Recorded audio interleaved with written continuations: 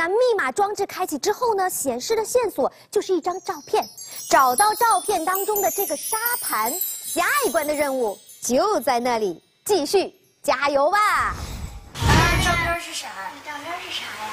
看得出来，它是一个园林从无到有的一个过程。在中国园林博物馆啊，就有一个叫做中国造园记忆厅的地方。这个答案你们在那里应该就能找到。就这儿吧，就这儿啊。他们上了一棒，我先不去。这儿是中国造园记忆厅。如果你想了解园林造景有哪些立意，有什么技法，造园的时候有什么具体的流程，就千万不能错过这里。刚才呀，队员们对于园林的了解还仅仅局限在文物上。虽然他们做出了一份《中国园林简史》，但是那都是纸上谈兵。接下来啊，他们就要在这里了解更多的知识，可以更加立体化、全方位的去认识中国园林当中的秘密。那我呢，先不进去，我还要去另外一个展厅，在那儿啊，发现另一处别有洞天。一会儿见。们要找的那个沙盘在哪儿呢？这块这块很像哦。哦，这窗户石头不挺直，看看这石头里会不会有线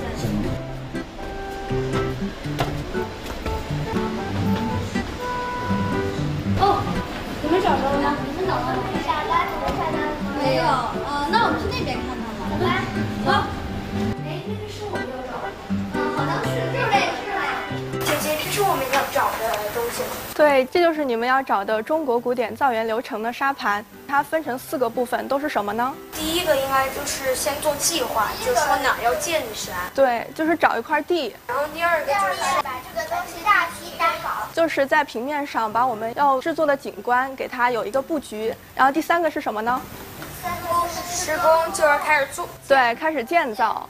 建好了。建好了建筑，各种山水之后呢，我们会种一些植物在里面，还得给它们浇水。修剪、防治病虫害等等养护的过程，这就是我们古代园林整个一个造园的流程。大家看看这个沙盘里面，它的景观都有哪些分类？楼、楼、建筑，对吧？假山。对，山水、植物还有建筑，是我们中国古典园林的四大要素。那我们现在可以给大家任务卡，给畅园画出一幅平面草图。那大家知道平面草图是什么吗？就是就是画地图，就画平面地图。地面上的景观，给它垂直投影到一个平面里面，缩小之后画到我们的纸张上。画的时候呢，我们刚刚讲的四要素一定要画在里面。那我们现在去畅园吧，画平面图了。好。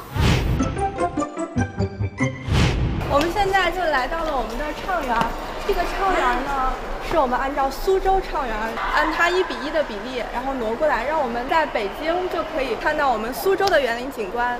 大家今天要画的就是这里。开始行动，我们先现场勘测一下。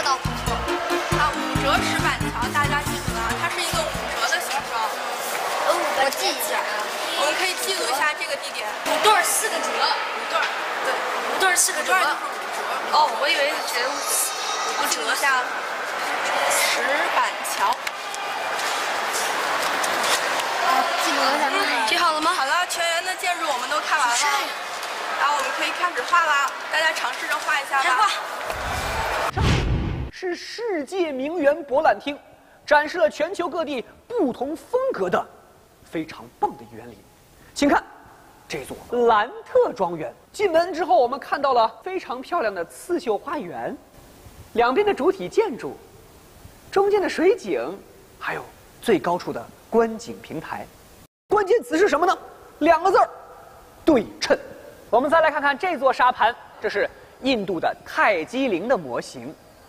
泰姬陵被称为完美的建筑，请看中间是陵寝的主体，东西两侧各有两座完全一样的建筑，左右呼应，互相对称。陵寝和大门由中间的一条笔直宽阔的甬道相连接，两边建筑格局包括植物都是完全对称的。关键词是什么呢？还是对称。伊斯兰风格的园林、欧洲风格的园林都非常重视对称的均衡感，可中国的古典园林却完全不同。就拿畅园来做例子吧，整个园林当中有两座亭子，一个是六角形的，一个是方形的。这么看来，队员们要想把畅园的草图画出来呀，是非常不容易的。那他们的草图究竟会画成什么样呢？我们一起去看一看。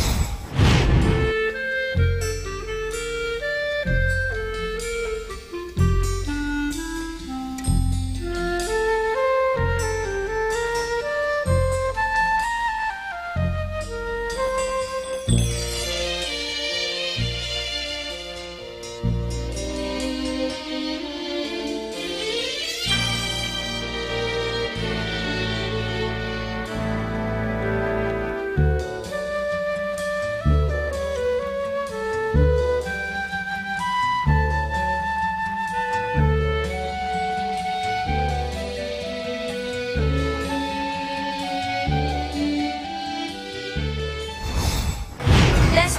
啊，这样我们看清楚一点啊。这些树树、你看这个盆栽，这两条鱼代表了里面的所有鱼，是吧？对，哎，很漂亮。刘老师，根据我们的要求，他们确实把草图都根据位置都画出来了，是吧？而且还在上面制作了一个橡皮泥的一个相当于沙盘。对，一个立体的。第一次画平面图能画成这样，已经很厉害了。我认为已经完成的很好了。我们今天是来干嘛的？猜密码。密码。